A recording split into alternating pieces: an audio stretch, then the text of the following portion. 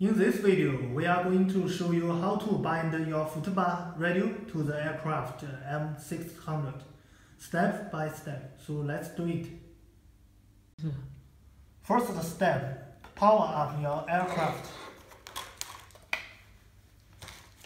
You plug the battery into the power.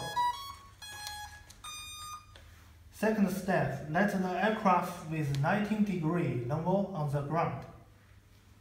Third degree, when the LED red light on the receiver is quick flashing, it goes into binding state.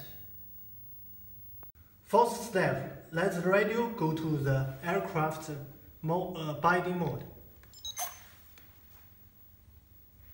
When the LED red light is keeping lighting, the aircraft is binding successful.